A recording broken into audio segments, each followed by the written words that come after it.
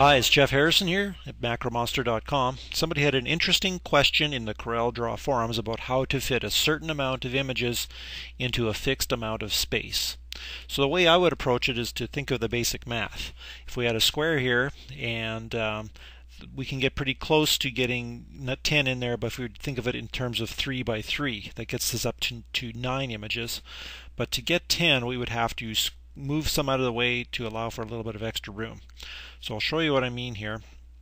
I'm going to simply divide this uh, rectangle into uh, 3 here from the top. So I'm going to go up to here, press divide, press 3.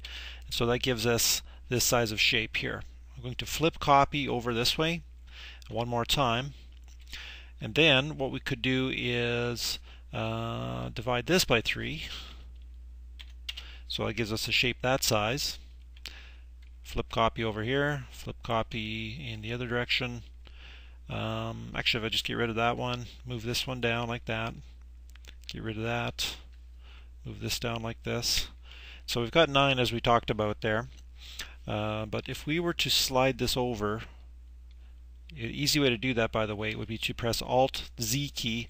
That allows you to use your guides to, to you know, slide to the left so that you end up with something like this. And then we could grab two of these and move them over to the right and then scale them so they line up with this edge. So as we can see, we've got 1, 2, 3, 4, 5, 6, 7, 8, 9, 10, 11. But if we weld these two together like that, that now gives us um, one, you know, 9 plus 1 is 10. So if we take, I just grab some images here, I'm just going to spread them apart, one way to do that is to just move them apart and then press something like Shift A and that'll help spread them out so you can kind of see what you got a little bit better. So I believe I've got 10, 10 images here. Just going to select all those. There we go. Zoom in on it, and this is where you can get into power clipping those images into each frame.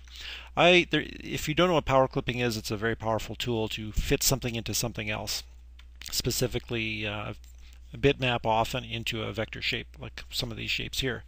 So what I often do is I, I've actually created a shortcut key to do that but where to find this command is under the object menu uh, power clip place inside frame I assign alt P through the options to do that. So I pick a shape press alt P and it'll force it inside there.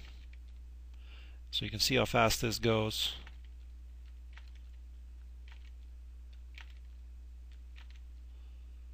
One more little flower there and to compete, complete our idea here. So we've got you know some photos in there real quickly. You can control click on one like this to position it better, scale it so it's it's um, kind of like live cropping or something. You might think of it that way.